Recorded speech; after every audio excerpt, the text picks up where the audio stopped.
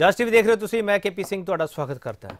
NRC ਇੱਕ ਇਹੋ ਜਿਹਾ ਰੋਲਾ ਪਿਆ ਹੋਇਆ ਪੂਰੇ ਮੁਲਕ ਦੇ ਵਿੱਚ, ਅਸਮ ਤੋਂ ਬਾਅਦ ਇਹ ਪੂਰੇ ਮੁਲਕ ਵਿੱਚ ਰੋਲਾ ਪੈ ਗਿਆ ਹੈਗਾ ਕਿ ਐਨਆਰਸੀ ਹੁੰਦੀ ਕੀ ਹੈ। ਉਹ ਤੁਹਾਨੂੰ ਉਸ ਪੂਰੀ ਡਿਬੇਟ ਵਿੱਚ ਦੱਸਾਂਗੇ ਐਨਆਰਸੀ ਦਾ ਮਤਲਬ ਹੈ ਕੀ ਹੈ। ਪਰ ਸਵਾਲ ਇੱਥੇ ਪੁੱਛਣ ਲਾਜ਼ਮੀ ਹੈਗਾ ਕਿ ਜਦੋਂ ਅਸਮ ਵਿੱਚ ਐਨਆਰਸੀ ਦਾ ਇਹ ਸਾਰਾ ਪ੍ਰੋਸੈਸ ਸ਼ੁਰੂ ਹੋਇਆ, ਤਾਂ ਉਸ ਦੇ ਵਿਚਾਲੇ ਜਿਹੜੇ ਉੱਥੋਂ ਦੇ ਰਹਿਣ ਵਾਲੇ ਲੋਕ ਹੈਗੇ ਆ, ਆਪਦੇ ਆਪ ਨੂੰ ਇਸ ਤਰ੍ਹਾਂ ਮਹਿਸੂਸ ਕਰਨ ਲੱਗ ਪਏ ਕਿ ਉਹ ਠੱਗੇ ਗਏ ਹਨ। ਪਰ ਸਵਾਲ ਇਹ ਹੈਗਾ ਕਿ ਜਿਸ ਤਰੀਕੇ ਨਾਲ ਸਰਕਾਰ ਕਹਿ ਰਹੀ ਹੈ ਕਿ ਕੁਝ ਪੈਠੀਏ ਬਾਹਰ ਕਰਨੇ ਹੈਗੇ ਆ, ਉਸ ਨਾਲ ਹਾਸਲ ਕੀ ਹੋਵੇਗਾ? ਕਰੋਨਾ 'ਤੇ ਖਰਚ ਕਰਕੇ ਐਨਆਰਸੀ ਦਾ ਟਾਰਗੇਟ ਕਿਹੜਾ ਪੂਰਾ ਹੋਵੇਗਾ? ਬਹੁਤ ਸਾਰੇ ਸਵਾਲ ਇਹੋ ਜਿਹੇ ਹੈ ਕਿ ਜਿਹੜੇ ਪੋਲੀਟੀਕਲ ਪਾਰਟੀਆਂ ਨੇ ਇਹ ਸਵਾਲ ਚੁੱਕੇ ਹੈ ਕਿ ਕਿ ਇਸ ਵਿੱਚ ਪੋਲੀਟੀਕਲ ਮੋਟਿਵ ਹੈਗਾ, ਸਿਆਸੀ ਮਕਸਦ ਹੈਗਾ। ਅਸੀਂ ਇਸੇ ਕਰਕੇ ਸਵਾਲ ਪੁੱਛਣਾ ਹੈਗਾ ਐਨਆਰਸੀ ਦਾ ਟਾਰਗੇਟ ਕੀ?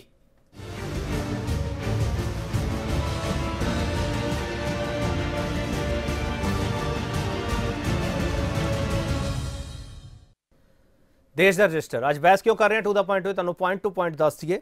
ਐਨਆਰਸੀ ਤੇ ਦੇਸ਼ ਭਰ ਵਿੱਚ ਛਿੜੀ ਬਹਿਸ ਤੇ ਸਿਆਸੀ ਕਮਸਾਨ ਹੋਰ ਪੱਕ ਗਿਆ। ਅਸਮ ਵਿੱਚ ਐਨਆਰਸੀ ਲਾਗੂ ਹੋਣ ਮਗਰੋਂ ਬਾਕੀ ਭਾਰਤ ਵਿੱਚ ਭਾਰਤ ਵਿੱਚ ਵੀ ਰੋਲਾ ਪੈ ਰਿਹਾ ਹੈਗਾ। ਕੇਂਦਰੀ ਗ੍ਰਹਿ ਮੰਤਰੀ ਅਮਿਤ ਸ਼ਾਹ ਨੇ ਰਾਂਚੀ ਚ ਐਨਆਰਸੀ ਤੇ ਇੱਕ ਵੱਡਾ ਬਿਆਨ ਦੇ ਦਿੱਤਾ ਹੈ। ਐਨਆਰਸੀ ਦਾ ਮਤਲਬ ਕੌਮੀ ਨਾਗਰਿਕ ਰਜਿਸਟਰ ਹੈ, ਨਾ ਕਿ ਕੌਮੀ ਅਸਮ ਰਜਿਸਟਰ, ਯਾਨੀ ਕਿ ਪੂਰੇ ਦੇਸ਼ ਵਿੱਚ ਗ੍ਰਹਿ ਮੰਤਰੀ ਆ ਜਿਹੜੇ ਇਸ ਪ੍ਰੋਸੈਸ ਨੂੰ ਲਾਗੂ ਕਰਨਾ ਚਾਹੁੰਦੇ ਨੇ। ਦਿੱਲੀ ਭਾਜਪਾ ਦੇ ਪ੍ਰਧਾਨ ਮਨੋਜ ਤਿਵਾੜੀ ਪਹਿਲਾਂ ਹੀ ਮੰਗ ਕਰ ਚੁੱਕੇ ਐਨਆਰਸੀ ਦੀ ਤੇ ਹਰਿਆਣਾ ਦੇ ਮੁੱਖ ਮੰਤਰੀ ਮਨੋਹਰ ਲਾਲ ਨੇ ਵੀ ਬਿਆਨ ਦਿੱਤਾ ਹੈਗਾ। ਜਦੋਂ ਹਰਿਆਣਾ ਵਿੱਚ ਚੋਣਾਂ ਹੋਣੀਆਂ ਨੇ ਤੇ ਉਸ ਤੋਂ ਪਹਿਲਾਂ ਇਹ ਬਿਆਨ ਬੜਾ ਮਹੱਤਵਪੂਰਨ ਹੈਗਾ। ਸੂਬੇ ਵਿੱਚ ਐਨਆਰਸੀ ਲਾਗੂ ਕਰੇਗੀ, ਹਰਿਆਣਾ ਸਰਕਾਰ ਮਨੋਹਰ ਲਾਲ ਖੱਟਰ ਨੇ ਕਿਹਾ। ਕੇਂਦਰ 'ਚ ਪੰਜਾਬ ਤੋਂ ਮੰਤਰੀ ਸੋਮ ਪ੍ਰਕਾਸ਼ ਨੇ ਵੀ ਹਮਾਇਤ ਕਰ ਦਿੱਤੀ ਹੈ। ਪਹਿਲਾਂ ਉਹਨਾਂ ਨੇ ਬਿਆਨ ਦਿੱਤਾ ਸੀਗਾ ਕਿ ਪੰਜਾਬ ਵਿੱਚ ਵੀ ਹੋਣੀ ਚਾਹੀਦੀ ਐਨਆਰਸੀ ਪਰ ਉਸ ਤੋਂ ਬਾਅਦ ਨਾਲ ਉਹਨਾਂ ਨੇ ਕਿਹਾ ਕਿ ਜੇ ਪੰਜਾਬ ਵਿੱਚ ਵੀ ਜ਼ਰੂਰਤ ਹੈ ਤਾਂ ਐਨਆਰਸੀ ਹੋਵੇ ਲਾਗੂ ਇਹ ਸਵਾਲ ਮੀਡੀਆ ਨੇ ਜਦੋਂ ਪੁੱਛਿਆ ਉਸ ਦਾ ਜਵਾਬ ਸੋਮ ਪ੍ਰਕਾਸ਼ ਹਰਨ ਨੇ ਦਿੱਤਾ ਹੈ ਅਸਮ ਵਿੱਚ 19 ਲੱਖ ਤੋਂ ਵਧੇਰੇ ਲੋਕਾਂ ਦਾ ਨਾਂ ਰਜਿਸਟਰ ਤੋਂ ਬਾਹਰ ਹੈ ਹਾਲਾਂਕਿ ਉਹਨਾਂ ਕੋਲੇ ਮੌਕੇ ਹੈਗੇ ਆ ਉਹ ਟ੍ਰਿਬਿਊਨਲ ਕੋਲੇ ਜਾ ਸਕਦੇ ਹੈਗੇ ਆ ਪਰ ਫੀਸਾਂ ਵੀ ਬਹੁਤ ਜ਼ਿਆਦਾ ਹੈਗੀਆਂ ਬਹੁਤ ਸਾਰੇ ਸਵਾਲ ਇਹੋ ਜਿਹੇ ਹੈਗੇ ਆ ਤੇ ਸਿਆਸੀ ਪਾਰਟੀਆਂ ਕਹਿੰਦੀਆਂ ਕੀ ਹੈਗੀਆਂ ਪਹਿਲਾਂ ਉਹ ਸੁਣ ਲਈਏ ठीक के ऊपर ये काम कर रहे हैं और शायद शायद जी आसाम भी जाने की आपकी योजना है आ, हमने भी कहा है कि हरियाणा में हम एनआरसी को लागू करेंगे और इसमें भी हम बालाजी का सहयोग करेंगे कि उसमें किस प्रकार से लागू किया जाता है कैसे किया जा सकता है इन्होंने हमको एक और सुझाव दिया कि हरियाणा में लॉ कमीशन बनना चाहिए उसका भी अध्ययन करेंगे और लॉ कमीशन की जहाँ तक आपका सुझाव है उसके ऊपर फिजिबिलिटी देख करके और हम विचार कर ਆਪਣੀ ਤਰ੍ਹਾਂ ਸਰਕਾਰ ਸੋਚ ਸਮਝ ਕੇ ਸਾਰੀ ਗੱਲ ਕਰ ਰਹੀ ਹੈ ਜਿਹੜਾ ਵੀ ਦੇਸ਼ ਵਿੱਚ ਬਿਨਾਂ ਇਜਾਜ਼ਤ ਐਂਟਰ ਕਰਦਾ ਹੈ ਉਹਨੂੰ ਰੋਕਣਾ ਸਰਕਾਰ ਦੀ ਜ਼ਿੰਮੇਵਾਰੀ ਹੈ ਔਰ ਇਹਦਾ ਤਾਂ ਜਿਹੜਾ ਮਰਜ਼ੀ ਕਿਸੇ ਕੰਟਰੀ 'ਚ ਆ ਕੇ ਉੱਥੇ ਰਹਿਣ ਲੱਗ ਜਾਏਗਾ ਇਹ ਤਾਂ ਤਮਾਸ਼ਾ ਥੋੜੇ ਸਰਕਾਰ ਨੂੰ ਸਖਤੀ ਨਾਲ ਇਹ ਲਾਗੂ ਕਰਨਾ ਔਰ ਕਰਨਾ ਚਾਹੀਦਾ ਤਾਂ ਪੰਜਾਬ 'ਚ ਹੀ ਲਾਗੂ ਹੋਣਾ ਚਾਹੀਦਾ ਬਿਲਕੁਲ ਪੰਜਾਬ 'ਚ ਬਾਹਰੋਂ ਕੋ ਆਇਆ ਉਹਨੂੰ ਲਾਗੂ ਕਰਨਾ ਚਾਹੀਦਾ ਸਰ ਇਸ ਤੋਂ ਪਹਿਲਾਂ ਮੰਗ ਸੀ ਮਲੇਰ ਕੋਟਲਾ ਜਾਂ ਲੁਧਿਆਣਾ 'ਚ ਲੋਕ ਬਾਹਰ ਹੀ ਨੇ ਇਸ ਕਰਕੇ ਐਨਆਰਸੀ ਲਾਗੂ ਹੋਣਾ ਚਾਹੀਦਾ ਨਹੀਂ ਨਹੀਂ ਐਸਾ ਕੋਈ ਨਹੀਂ ਹੈ ਜਿਹੜਾ ਵੀ ਕੋਈ ਵੋਟਰ ਤੋਂ ਬਗੈਰ ਕੋਈ ਬ- ਬੰਗਲਾਦੇਸ਼ੀ ਜਾਂ ਕੋਈ ਇੱਥੇ ਰਹਿੰਦਾ ਹੈ ਉਹਨੂੰ ਪੰਜਾਬ ਸਰਕਾਰ ਦੀ ਜਿਹੜਾ ਪਹਿਲੇ ਪਾਲਿਸੀ ਹੈ ਸਟੇਟ ਦੀ ਪਾਲਿਸੀ ਹੈ ये स्थिति खतरे के ऐसे ऊपर बढ़ रही है कि एनआरसी का होना दिल्ली में बहुत आवश्यक है। और मेरा पूरा विश्वास है कि जो लोग इलीगल घुसपैठी आए हैं और दिल्ली में बस रहे हैं, वो पूरे देश में सबसे ज़्यादा खतरनाक हैं। और उनने उनके ऊपर भी ये एनआरसी कार्रवाई होनी ही चाहिए। भारतीय जनता पार्टी के तरफ़ से हमारा यही मत है और समय मिलते ही हम इसको करके भी रहेंगे। गृह मंत्री अमित शाह जी से यह निवेदन करना चाहता हूँ कि तेलंगाना में भी एनआरसी लागू होने की आवश्यकता है। क्योंकि तेलंगाना में जिस प्रकार से, जैसे बालापुर, कंचनबाग, ऐसे अनेकों क्षेत्र है जहाँ पर एमआईएम के सांसद असुद्दीन ओवैसी का क्षेत्र है, वो एरिया है, वहाँ पर आठ हज़ार से अधिक रोहिंग्या मुसलमान छुपे हुए हैं इलीगल रूप से।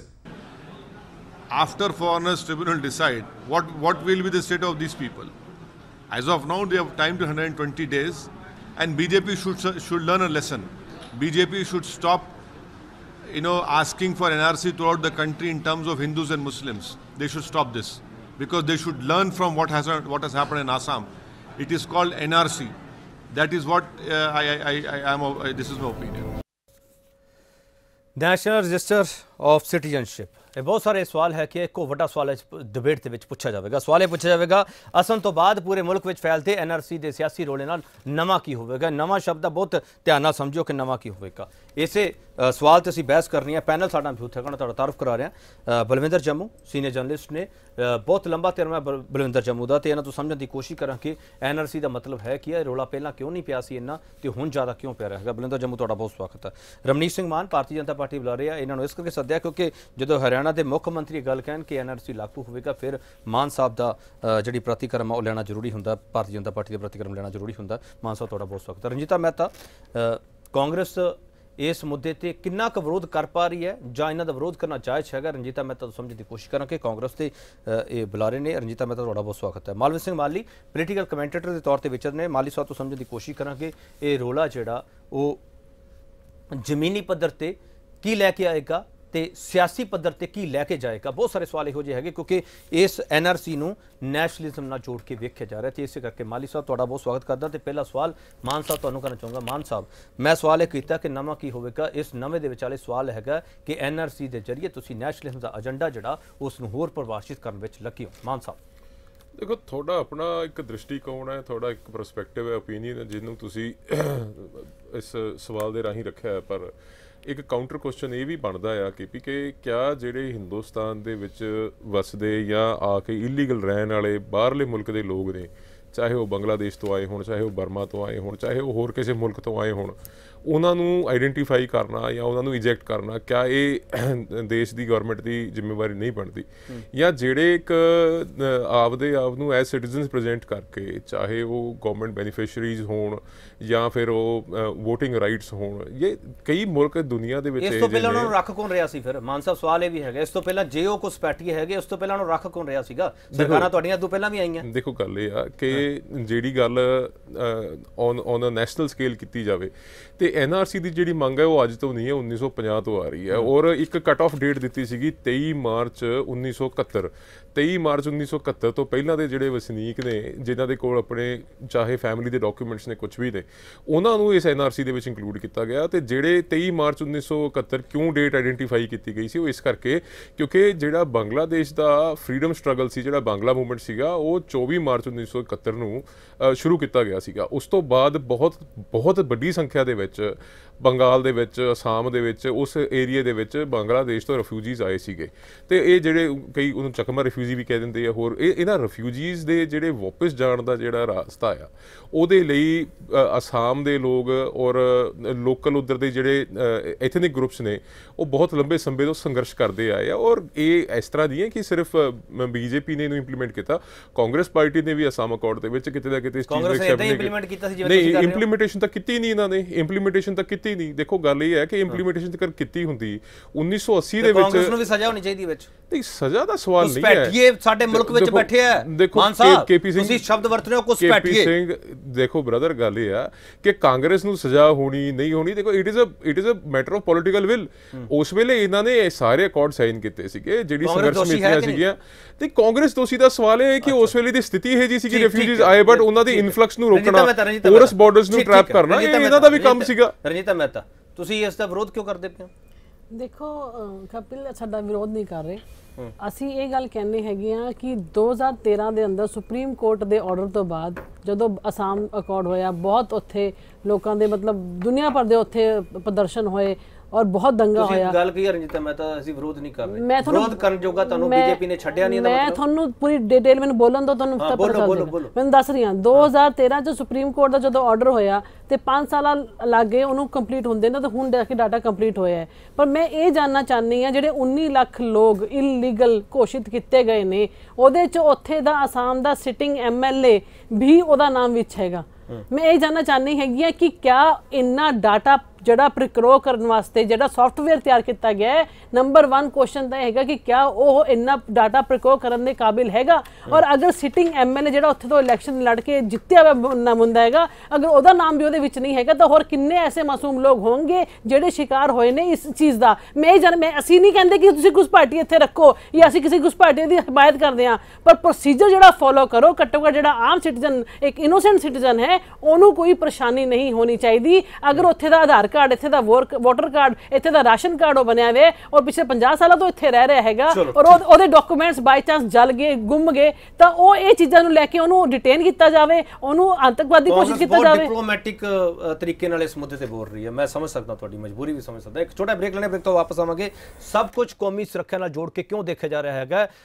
ਕੌਮੀ ਸੁਰੱਖਿਆ ਦੇ ਵਿਚਾਲੇ ਕੀ ਸਾਨੂੰ ਉਹ ਸੁਰੱਖਿਆ ਨਹੀਂ ਚਾਹੀਦੀ ਜਿਹੜੀ ਸਾਨੂੰ ਜ਼ਿੰਦਗੀ ਦੇਣ ਦਾ ਅਧਿਕਾਰ ਦਿੰਦੀ ਹੈ ਕੀ ਹੈ? ਇਹ ਜ਼ਿੰਦਗੀ ਮੌਤ ਦਾ ਸਵਾਲ ਹੈਗਾ। ਜਦੋਂ ਐਨਆਰਸੀ ਦੀ ਗੱਲ ਹੁੰਦੀ ਹੈ, ਅਸੀਂ ਸ਼ਾਇਦ ਇਸ ਨੂੰ ਛੋਟਾ ਸਮਝ ਕੇ ਦੇਖ ਰਹੇ ਹਾਂ, ਕਿਉਂਕਿ ਹਜੇ ਸਾਡੇ, ਤੁਹਾਡੇ ਤੇ ਐਨਆਰਸੀ ਦਾ ਦਬਾਅ ਪਿਆ ਨਹੀਂਗਾ। ਜਦੋਂ ਪਊਗਾ ਐਨਆਰਸੀ ਦਾ ਮਤਲਬ ਤੁਹਾਨੂੰ ਸਮਝ ਆ ਜਾਊਗਾ। ਬ੍ਰੇਕ ਤੋਂ ਵਾਪਸ ਆ ਰਹੇ ਹਾਂ।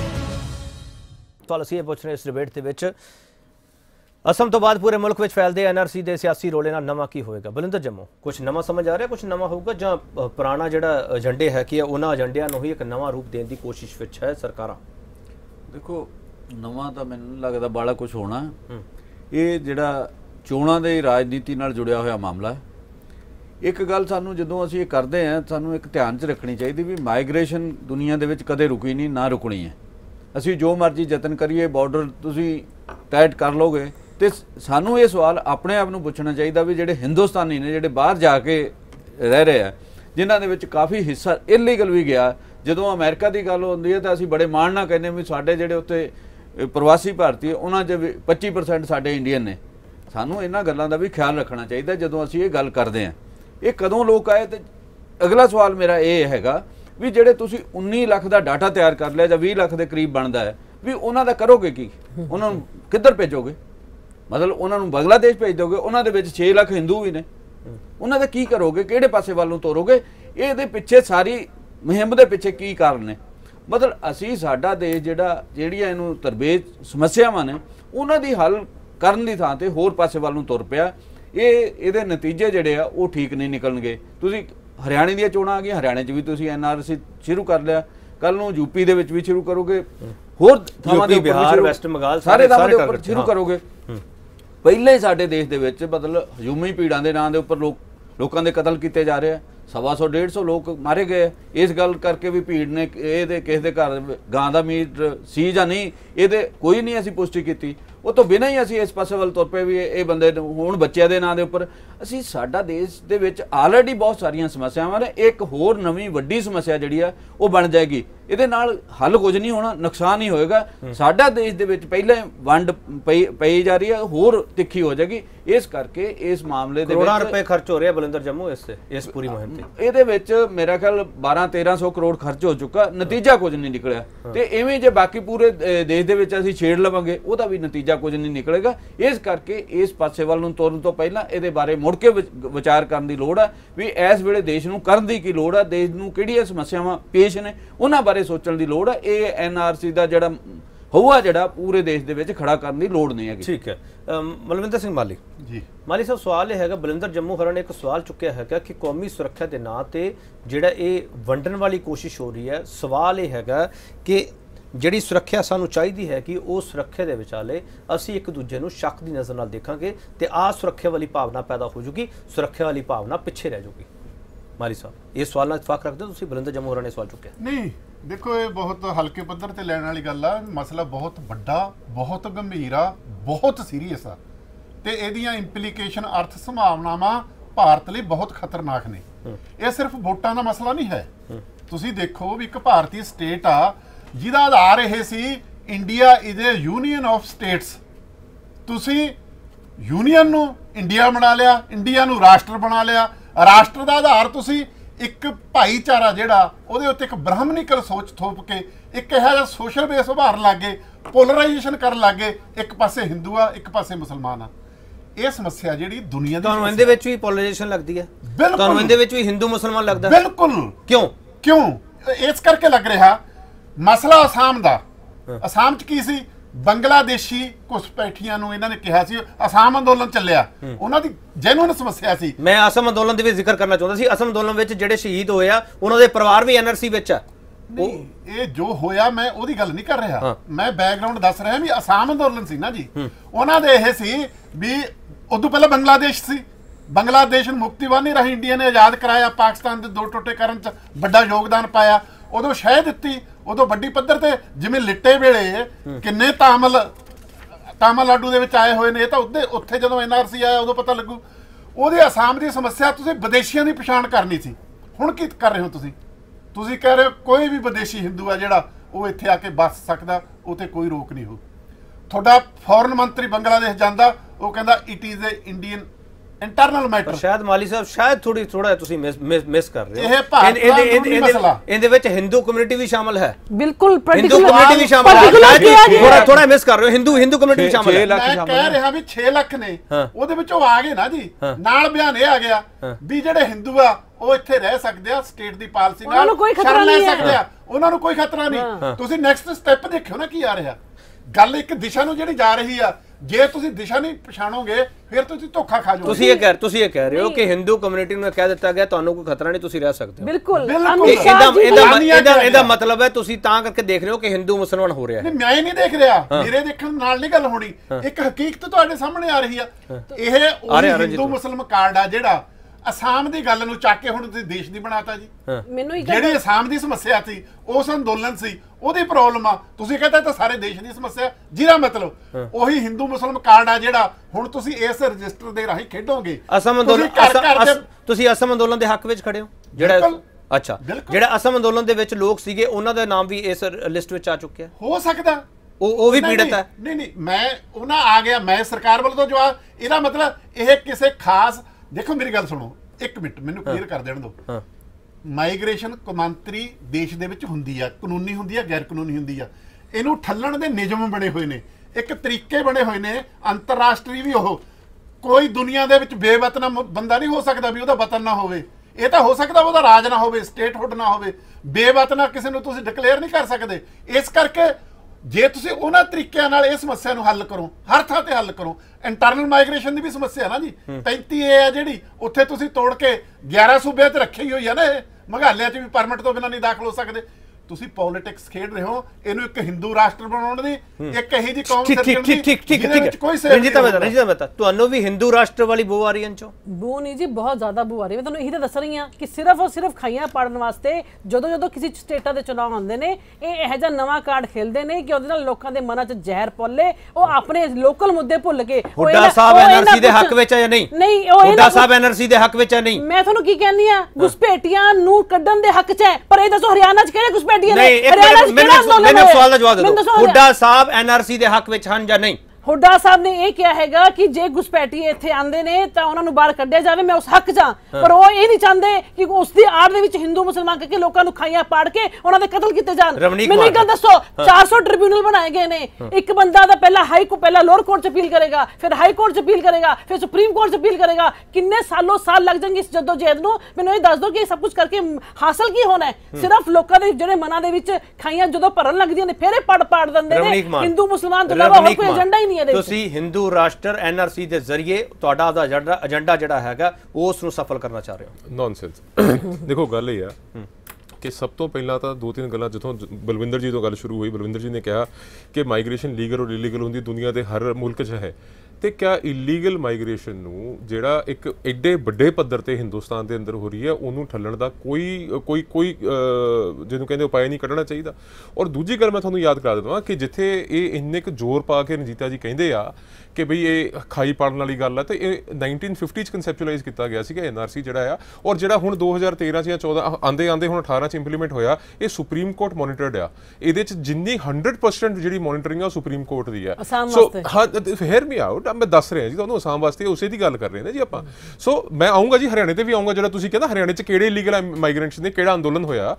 ਸੋ ਇਹ ਕੋਈ ਇਹ ਕੋਈ ਮਾਨਦੰਡ ਨਹੀਂ ਹੈ। ਦਿਸ ਨਾਟ ਅ ਕ੍ਰਾਈਟੇਰੀਆ ਕਿ ਜਿੱਥੇ ਅੰਦੋਲਨ ਹੋਏਗਾ ਉੱਥੇ ਹੀ ਇਲੀਗਲ ਮਾਈਗ੍ਰੈਂਟਸ ਹੋਣਗੇ। ਸਾਹਿਬ ਇੱਕ ਇੱਕ ਮਿੰਟ ਕੇ ਵੀ ਮੈਂ ਮੈਂ ਨਹੀਂ, ਤੁਹਾਡੇ ਸਵਾਲ ਦਾ ਜਵਾਬ ਦੇ ਸਵਾਲ ਤਾਂ ਰਿਹਾ ਛੱਡਤਾ ਨਾ। ਮੈਂ ਤੁਹਾਨੂੰ ਸਵਾਲ ਕਰ ਰਿਹਾ ਨਹੀਂ, ਕਿ ਹਿੰਦੂ ਰਾਸ਼ਟਰ ਨੂੰ ਤੁਸੀਂ ਅੱਗੇ ਵਧਾ ਰਹੇ ਹੋ ਇਸ ਏਜੰਡੇ ਦੇ ਜ਼ਰੀਏ ਤੁਹਾਨੂੰ ਪਹਿਲਾਂ ਇਹ ਸਵਾਲ ਦਾ ਜਵਾਬ ਕਿਉਂ ਨਹੀਂ ਦੇ ਰਹੇ? ਕੱਲਾ ਨੌਨਸੈਂਸ ਕਹਿ ਕੇ। ਨਹੀਂ ਨੌਨਸੈਂਸ ਕਹਿ ਕੇ ਨਹੀਂ ਸਰਨਾ। ਤੁਸੀਂ ਉਸ ਸਵਾਲ ਨੂੰ ਛੋਟਾ ਕਰਕੇ ਦੇਖ ਰਹੇ ਹੋ ਮਾਨ ਸਾਹਿਬ। ਹੈ ਹੀ ਜਦੋਂ ਜਦੋਂ ਤੁਸੀਂ ਦੇਖੋ ਕੇਪੀ ਗੱਲ ਇਹ ਆ ਕਿ ਜਿਹੜੀ ਮੂਲ ਗੱਲ ਆ ਉਹ ਇਹ ਹੈ ਕਿ ਹਿੰਦੁਸਤਾਨ ਦੇ ਵਿੱਚ ਜਿਹੜੇ ਇਲੀਗਲ ਮਾਈਗ੍ਰੈਂਟਸ ਨੇ ਹੁਣ ਤੁਸੀਂ ਆਪ ਐਡਮਿਟ ਕੀਤਾ ਹਿੰਦੂ ਰਾਸ਼ਟਰ ਤੇ ਹਿੰਦੂ ਰਾਸ਼ਟਰ ਤੁਸੀਂ ਕਰੀ ਜਾਂਦੇ ਹੋ ਰੱਟਾ ਲਾਈ ਜਾਂਦੇ ਆ ਮੈਂ ਮੈਨੂੰ ਮੈਂ ਨਹੀਂ ਹੈ ਰੱਟਾ ਲਾਇਆ। ਨਹੀਂ, ਮੈਂ ਨਹੀਂ ਰੱਟਾ ਲਾਇਆ, ਮੈਂ ਦੱਸ। ਰਿਹਾ ਜੀ ਤੁਸੀਂ ਸਵਾਲ ਪੁਆਇੰਟਡ ਪੁੱਛ ਰਹੇ ਹੋ ਉਹਦਾ ਉੱਤਰ ਤਾਂ ਲਓ ਤੁਸੀਂ। ਆਪਣੇ ਮੂੰਹ ਤੋਂ ਕਿਹਾ ਵੀ 6 ਲੱਖ ਦੇ ਹਿੰਦੂ ਵੀ ਨੇ ਤਾਂ ਫਿਰ ਕਿਹੜਾ ਹਿੰਦੂ ਰਾਸ਼ਟਰ ਵਾਲੀ ਗੱਲ ਹੋਗੀ।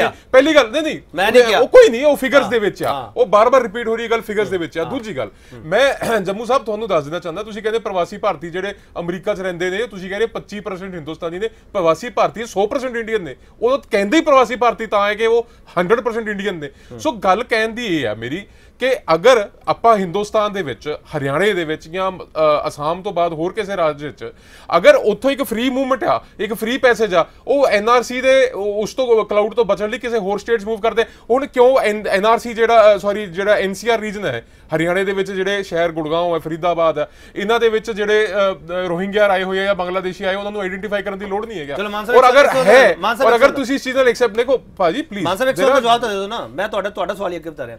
ਅਸਮ ਅੰਦੋਲਨ ਨੂੰ ਤੁਸੀਂ ਸਹੀ ਮੰਨਦੇ ਹੋ? ਦੇਖੋ ਗੱਲ ਇਹ ਹੈ ਕਿ ਜਿੱਥੇ ਵੀ ਐਥਨਿਕ ਗਰੁੱਪਸ ਆਪ ਦੀ ਅਸਮ ਅੰਦੋਲਨ ਨੂੰ ਤੁਸੀਂ ਸਹੀ ਮੰਨਦੇ ਹੋ ਕਿ ਨਹੀਂ ਮੰਨਦੇ? You have to hear the answer.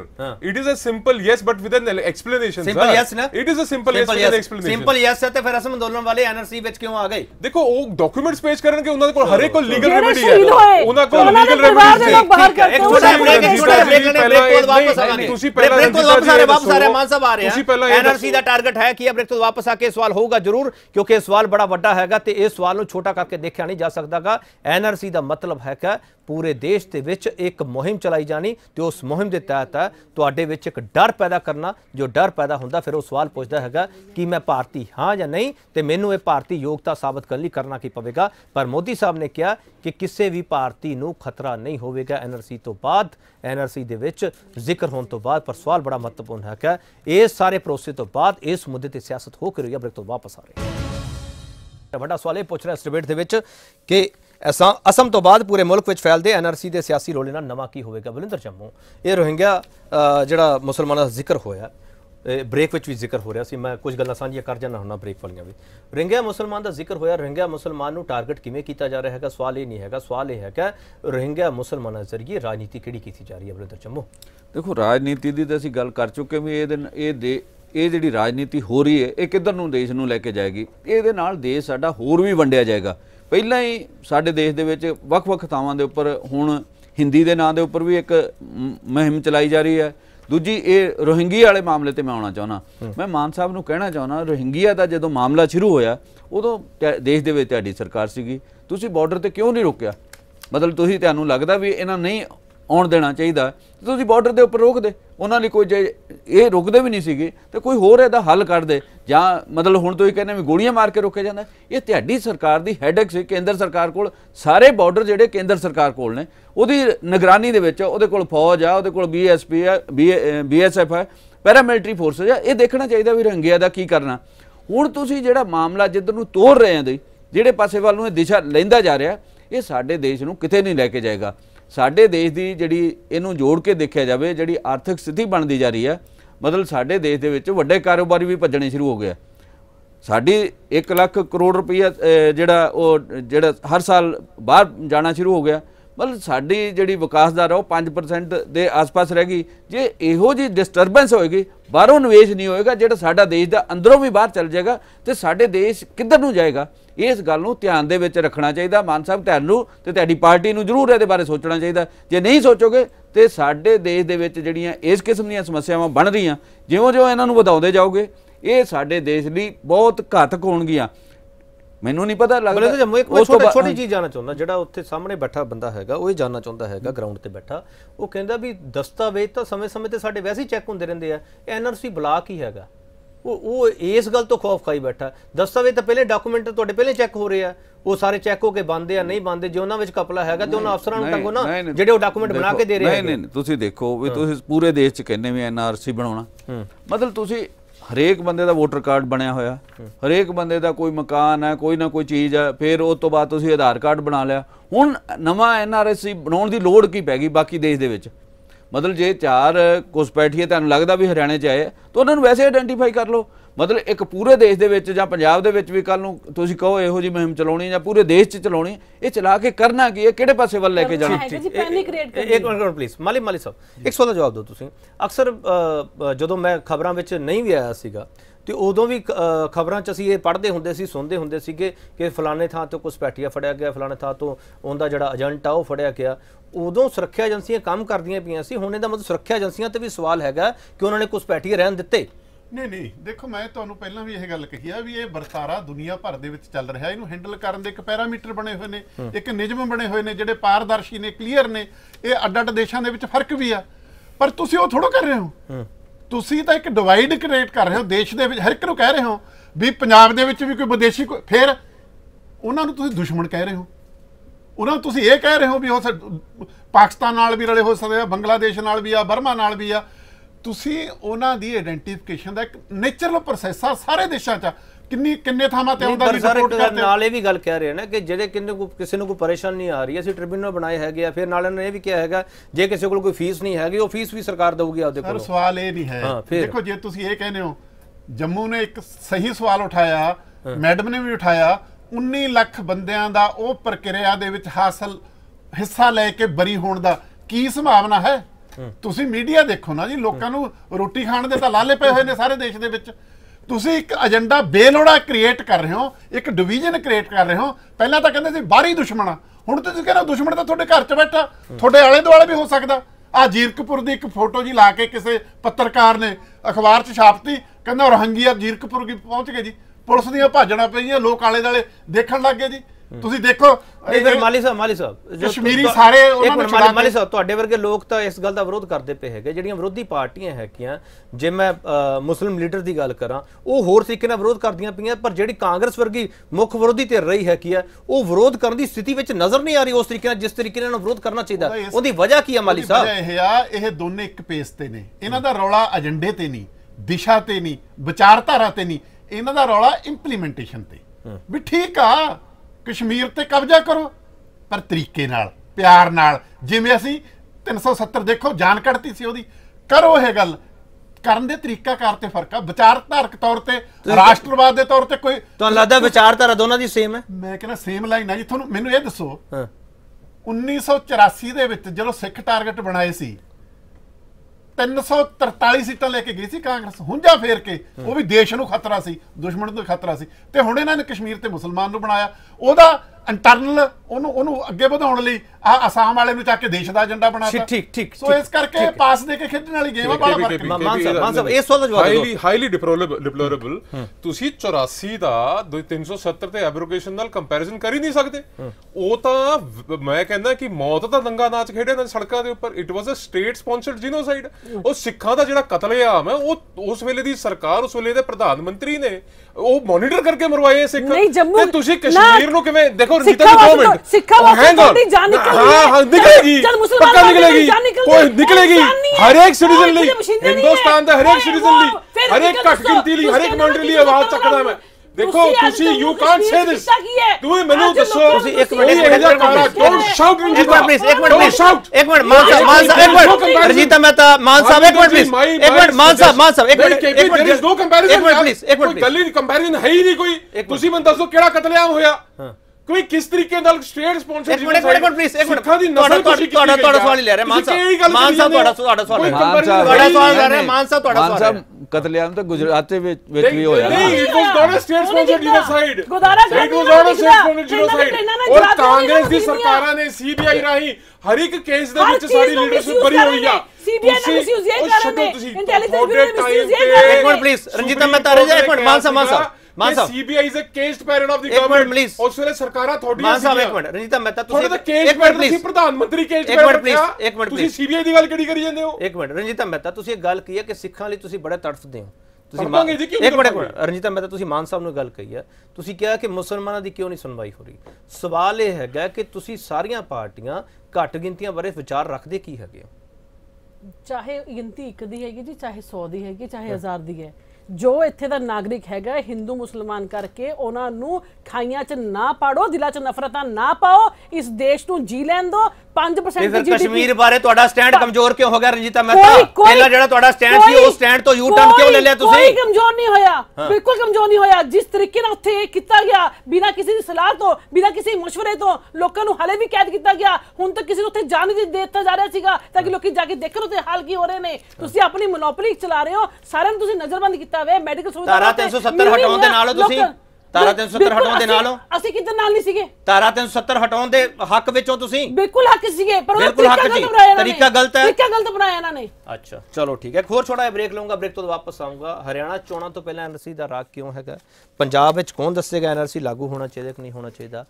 ਜਦੋਂ ਕੇਂਦਰੀ ਗ੍ਰਹਿ ਮੰਤਰੀ ਇਹ ਗੱਲ ਕਹਿਣ ਕਿ ਪੂਰੇ ਦੇਸ਼ ਵਿੱਚ ਜ਼ਰੂਰਤ ਹੈ ਕਿ ਤੇ ਪੂਰੇ ਦੇਸ਼ ਨੂੰ ਇਸ ਤੇ ਬਹਿਸ ਕਰਨ ਦੀ ਜ਼ਰੂਰਤ ਵੀ ਪਵੇਗੀ ਪਰ ਸਵਾਲ ਇਹ ਹੈਗਾ ਕਿ ਐਨਆਰਸੀ ਦੇ ਮੁੱਦੇ ਤੇ ਕੋਈ ਹਊਆ ਤਾਂ ਨਹੀਂ ਖੜਾ ਕਰਨ ਦੀ ਕੋਸ਼ਿਸ਼ ਕੀਤੀ ਹੈ ਜਦੋਂ ਹਊਆ ਦੀ ਗੱਲ ਹੁੰਦੀ ਹੈ ਬਲਿੰਦਰ ਜੰਮੂ ਇਹ ਗੱਲ ਕਹਿੰਦੇ ਆ, ਹਊਆ ਖੜਨ ਦੀ ਕੋਸ਼ਿਸ਼ ਕੀਤੀ ਜਾਂਦੀ ਹੈ, ਤਾਂ ਫਿਰ ਉਦੋਂ ਆ ਸੁਰੱਖਿਆ ਦੀ ਭਾਵਨਾ ਪੈਦਾ ਹੁੰਦੀ ਹੈ। ਇਹੋ ਜੀ ਭਾਵਨਾ ਨਾਲ ਫਾਇਦਾ ਕੀ ਹੋਵੇਗਾ? ਕੀ ਅਸਲ ਮੁੱਦਿਆਂ ਤੋਂ ਧਿਆਨ ਭਟਕ ਜਾਵੇਗਾ? ਬ੍ਰੇਕ ਤੋਂ ਵਾਪਸ ਆ ਰਹੇ ਹਾਂ। ਵੱਡਾ ਸਵਾਲ ਇਹ ਪੁੱਛਿਆ ਜਾ ਰਿਹਾ ਇਸ ਡਿਬੇਟ ਦੇ ਵਿੱਚ ਅਸਮ ਤੋਂ ਬਾਅਦ ਪੂਰੇ ਮੁਲਕ ਵਿੱਚ ਫੈਲਦੇ ਐਨਆਰਸੀ ਦੇ ਸਿਆਸੀ ਰੋਲੇ ਨਾਲ ਨਵਾਂ ਕੀ ਹੋਵੇਗਾ? ਬਲਿੰਦਰ ਜੰਮੂ, ਅਸੀਂ ਆਖਰੀ ਹਿੱਸੇ ਵਿੱਚ ਹਾਂ। ਆਖਰੀ ਹਿੱਸੇ ਵਿੱਚ ਮੈਂ ਜ਼ਰੂਰ ਸਮਝ ਚਾਹੁੰਦਾ ਕਿ ਪੋਲੀਟੀਕਲ ਬਿਆਨਬਾਜ਼ੀਆਂ ਬਹੁਤ ਹੋ ਰਹੀਆਂ। ਇੱਕ ਬਿਆਨ ਇਹ ਵੀ ਦਿੱਤਾ ਗਿਆ ਕਿ 40 ਲੱਖ ਉਸ 40 ਲੱਖ ਹੈ ਜਿਹੜੇ ਘੁਸਪੈਠ ਕੇ ਹੈਗੇ ਆ। ਉਸ ਤੇ ਇਤਰਾਜ਼ ਵੀ ਜਤਾਇਆ ਗਿਆ ਕਿ ਤੁਹਾਨੂੰ ਆંકੜੇ ਪਹਿਲਾਂ ਹੀ ਕਿਵੇਂ ਪਤਾ ਹੈਗੇ ਆ। ਇਸ ਤੋਂ ਪਹਿਲਾਂ ਵੀ ਇਹੋ ਜਿਹੇ ਸਵਾਲ ਪੁੱਛੇ ਜਾਂਦੇ ਹੈਗੇ ਆ। ਪਰ ਜਦੋਂ ਇਹ ਹਿੰਦੂ ਮੁਸਲਮਾਨ ਵਾਲੀ ਸਿਆਸਤ ਸ਼ੁਰੂ ਹੁੰਦੀ ਹੈ, ਉਹ ਸਭ ਦੇ ਵਿਚਾਲੇ ਸਵਾਲ ਇੱਕੋ ਆ ਕੇ ਰੁਕਦਾ ਹੈਗਾ ਕਿ ਸਭ ਕੁਝ ਘੱਟ ਗਿਣਤੀਆਂ ਲਈ ਕੀਤਾ ਜਾ ਰਿਹਾ, ਘੱਟ ਗਿਣਤੀਆਂ ਦੇ ਵਿਰੋਧ ਕੀਤਾ ਜਾ ਰਿਹਾ। ਕਿ ਬਲਵਿੰਦਰ ਜੰਮੂ, ਸਾਰੇ ਪ੍ਰੋਸਪੈਕਟਿਵ ਨੂੰ ਸਿਰਫ ਘੱਟ ਗਿਣਤੀਆਂ ਨਾਲ ਜੋੜ ਕੇ ਹੀ ਦੇਖਿਆ ਜਾਵੇ? ਕੋਈ ਦੇਸ਼ ਹਿੱਤ ਵਿੱਚ ਕੋਈ ਗੱਲ ਨਾ ਕੀਤੀ ਜਾਵੇ। ਕੇਂਦਰ ਸਰਕਾਰ ਬਾਰ-ਬਾਰ ਗੱਲ ਕਹਿੰਦੀ ਹੈ, ਤੁਸੀਂ ਅਮਰੀਕਾ ਜਾ ਕੇ ਨਜਾਇਜ਼ ਕਿਵੇਂ ਰਹਿ ਸਕਦੇ ਹੋ, ਕੈਨੇਡਾ ਜਾ ਕੇ ਨਜਾਇਜ਼ ਕਿਵੇਂ ਰਹਿ ਸਕਦੇ ਹੋ? ਜੇ ਅਸੀਂ ਕੁਝ ਕਰਦਾ ਤੁਹਾਨੂੰ ਤਕਲੀਫ ਹੋਣ ਲੱਗ ਪੈਂਦੀ ਹੈ। ਬਲਵਿੰਦਰ ਜੰਮੂ। ਦੇਖੋ ਸਵਾਲ ਜਿਹੜਾ ਨਾ ਇਹਨੂੰ ਇਸ ਢੰਗ ਨਾਲ ਨਹੀਂ ਲਿਆ ਜਾਣਾ ਚਾਹੀਦਾ। ਸਵਾਲ ਇਸ ਵੇਲੇ ਹੈ ਕੀ ਹੈ? ਦੇਸ਼ ਦੇ ਵਿੱਚ ਹੋ ਕੀ ਰਿਹਾ? ਦੇਸ਼ ਦੀ ਸਿਆਸਤ ਜਿਹੜੀ ਆ ਇਹ ਨੌਨ ਇਸ਼ੂ ਦੇ ਉੱਪਰ ਕੀਤੀ ਜਾ ਰਹੀ ਆ ਜਿਹੜੇ ਬੁਨਿਆਦੀ ਇਸ਼ੂ ਆ ਉਹਨਾਂ ਨੂੰ ਸਾਈਡ ਤੇ ਰੱਖ ਦਿੱਤਾ ਗਿਆ। ਤੁਸੀਂ ਜੇ ਬੁਨਿਆਦੀ ਇਸ਼ੂ ਇਹ ਮੁੱਦੇ ਹੱਲ ਨਹੀਂ ਕਰੋਗੇ ਇਹ ਦੇਸ਼ ਦਾ ਬਣੇਗਾ ਕੀ? ਮਤਲਬ ਤੁਹਾਨੂੰ ਨਾ ਬੇਰੁਜ਼ਗਾਰੀ ਦਾ ਖਿਆਲ ਹੈ ਨਾ ਮਹਿੰਗਾਈ ਦਾ ਖਿਆਲ ਹੈ ਨਾ ਦੇਸ਼ ਦੇ ਵਿੱਚ ਸਿਹਤ ਦੀ ਕੀ ਹਾਲਤ ਹੈ ਨਾ ਲੋਕਾਂ ਨੂੰ ਰੋਜ਼ਗਾਰ ਦੇਣ ਦੀ ਮਤਲਬ ਸਥਿਤੀ ਹੈ।